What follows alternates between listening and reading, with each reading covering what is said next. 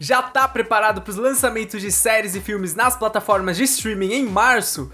Ainda não? Ó, sem problemas porque a gente te conta aqui os principais lançamentos que estão chegando. Tem filme de luta, série de super-heróis, animes e mais um montão de coisa. E antes de começarmos, não se esqueça, se quiser ficar por dentro de tudo do mundo das séries e dos games, se inscreve no canal e clica no sininho, assim você recebe notificações sempre que pipocar um vídeo novo por aqui. Este vídeo é patrocinado pelo Banco Digital Digio. Precisa de uma forma de pagamento rápida e segura para comprar seus jogos online? Peça seu Digio Cartão e aproveite as vantagens de um cartão de crédito livre de anuidade, juros rotativos e mensalidade. O Digio ainda oferece a opção de cartão virtual, descontos exclusivos em lojas parceiras, além de cashback, conta digital e controle total pelo app. Desde 2019, o Digio tem sido um grande incentivador do cenário gamer no Brasil.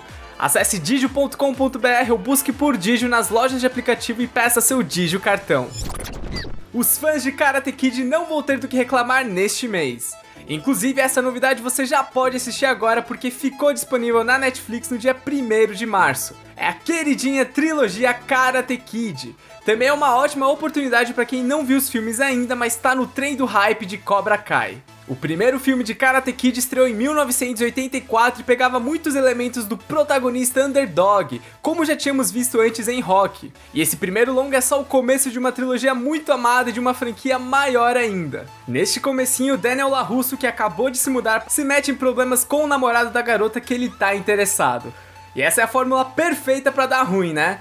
Mas quando Daniel tá prestes a apanhar, o mestre Miyagi o salva e decide ensiná-lo a lutar karatê, o que vai mudar sua vida.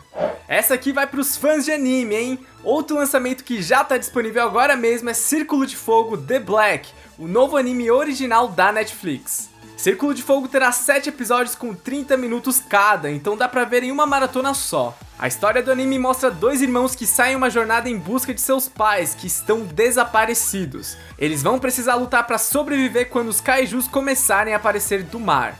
Ainda estamos bem longe da época do Halloween, mas Halloween já está disponível na Netflix para você que é fã de terror e quer relembrar este clássico. Ou também para você que quer ver pela primeiríssima vez. Nunca tem hora ruim para ver um filme de terror, né? 40 anos depois de escapar do ataque de Michael Myers em uma noite de Halloween, a protagonista Laurie Strode precisa encarar o assassino que a atormentou mais uma vez, após ele fugir do lugar onde ele estava preso.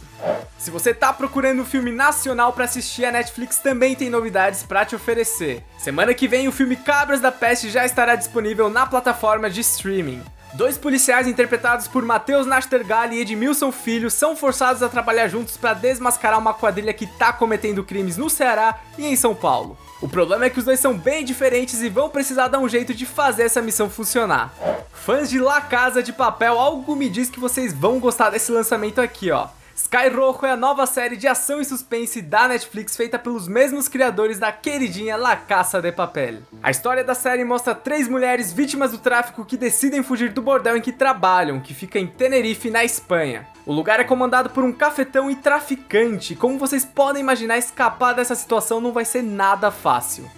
Chegou o momento de finalmente conferirmos a nova animação da Netflix baseada em Dota, isso mesmo, você não ouviu errado. Os episódios são baseados em Dota 2 e a estreia acontecerá no final deste mês. A série terá 8 episódios e a história mostra as aventuras de Davion, um grande cavaleiro do dragão que quer dar um jeito de se livrar dos problemas do mundo. Pouca coisa, né? O problema é que esses novos desafios são maiores do que os que ele já tinha encarado antes.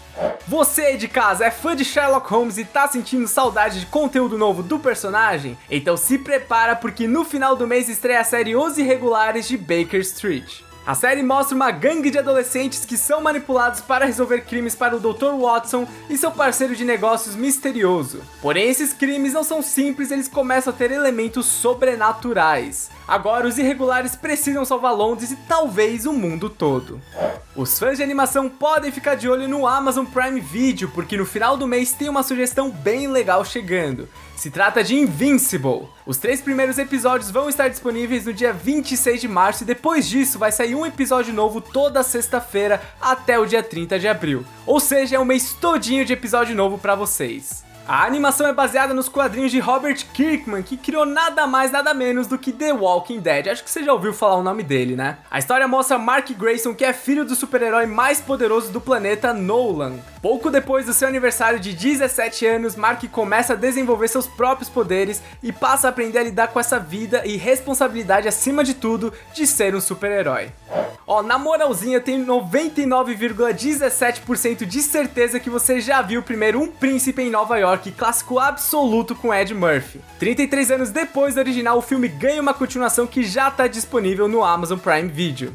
O filme mostra o rei Akin e seu confidente Semi voltando aos Estados Unidos em busca de um filho perdido que pode ser o herdeiro do trono de Zamunda. Ou seja, mais uma vez vamos revisitar o Queens em Nova York com nosso queridão Ed Murphy, não tem como dar errado. Vale ressaltar ainda que além de Ed Murphy, a gente vai ter a volta de praticamente todo o elenco do primeiro filme, que tem nomes como Arsenio Hall, Shari Ridley, John Amos e James Earl Jones.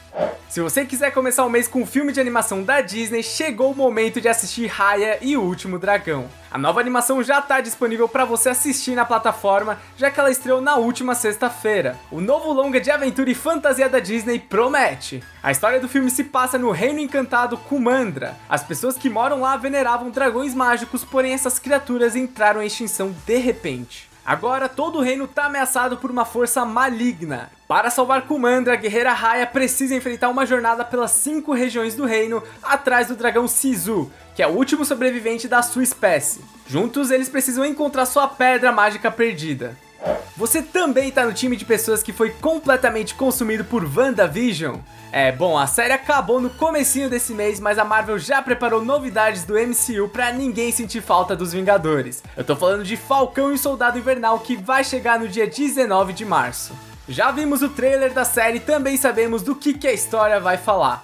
A série se passa depois dos eventos de Vingadores Ultimato, o último filme do MCU. Sam Wilson e Bucky Barnes vão viajar ao redor do mundo em um monte de situações que vão testar suas habilidades e também a sua paciência. O trailer já deixou muito Marvete por aí hypado, comenta se você também tá nesse trem.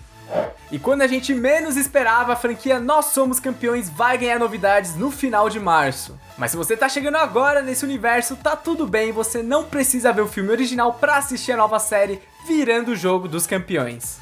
Atualmente a série se passa em Minnesota. Os Mighty Ducks tornaram-se uma equipe de hockey jovem muito boa e também bem competitiva. Depois que Evan Morrow, de 12 anos de idade, saiu dos Ducks, ele resolveu fazer uma equipe própria para derrotar os Mighty Ducks. Será que ele vai conseguir?